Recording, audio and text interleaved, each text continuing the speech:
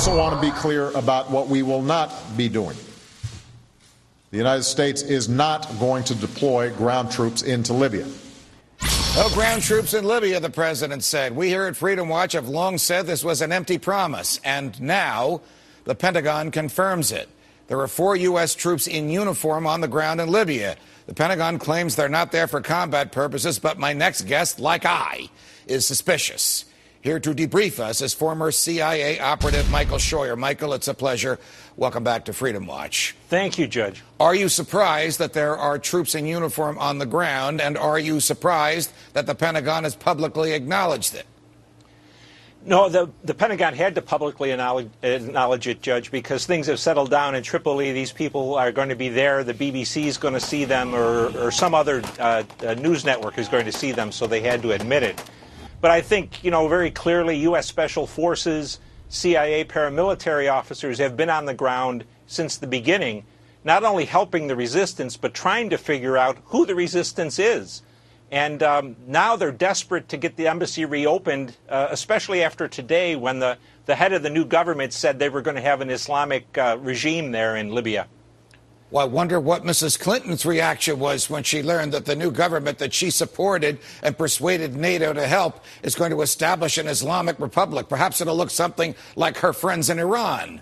well, Mrs. Clinton knows about as much about the Middle East as my chair does. Uh, what she knows is what she believes in, which is kind of a Marxist Leninist approach to imposing democracy, secular democracy, on anybody who doesn't have it at the moment. Um, she's advancing us, along with Obama and Senator McCain, toward a war of a clash of civilizations. They're the engines of what's going on. Do they want boots on the ground? Does Michael Scheuer believe that we will have Americans on the ground, whether they're wearing boots or uniforms or something uh, other than that, in order to engage in nation building, something the President and Mrs. Clinton promised they'd never do in Libya? Oh, I think that's where we're going, Judge. The, the, the, the, the belief amongst people like Obama and McCain and Clinton is if they have, if the Muslim population has a, a good lifestyle and good healthy teeth and health care, that they'll turn their back on their faith and uh, become secular pagan Westerners. And of course, that's not going to happen, but they'll spend inordinate amounts of money to try to make that happen in Libya, in Egypt, in Tunisia, and elsewhere.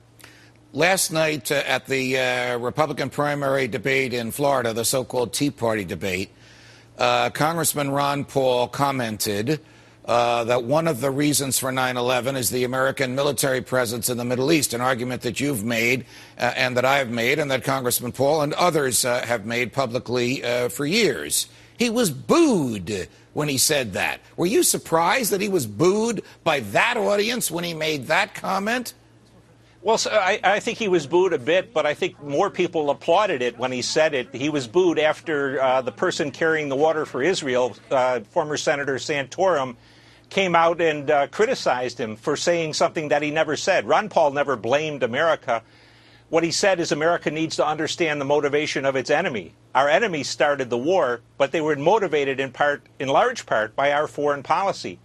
But for the last two weeks, Judge, the pro-Israel newspapers, websites, especially Commentary Magazine, have been attacking Ron Paul as uh, someone who is uh, offering a noxious explanation. And their mes- message has been that Mr. Paul uh, uh blames the United States for 9 11. He never said that. What Ron Paul said is the American people need to discuss their foreign policy. And if they want to have a foreign policy here on out that continues to motivate our enemies uh, to attack us uh, not only abroad, but increasingly young Muslim males within the United States. Why do you think neocons want to uh, silence or, or crush politically Congressman Paul? Because we have no interest in the clash between the Palestinians and the Israelis. There is no interest there for the United States. There are no natural resources. Israel's manpower has never been used to help us do anything. And certainly the Palestinians have nothing to offer us if it was ever explained adequately to the American people, they would realize that we're sticking our nose into an unresolvable religious war that, that only brings America pain in terms of blood and money. And there's also a crunch point coming up. The whole Islamist movement, Judge, is going to be rev- re- revived, if you will, and, and empowered if we block the Palestinians' uh, application for statehood at the UN later this month. Right. Ron, Ron Paul is exactly right. We should just mind our own business. This has nothing to do with U.S. interests. Michael Scheuer, thanks for joining us. Yes, sir. Always a pleasure.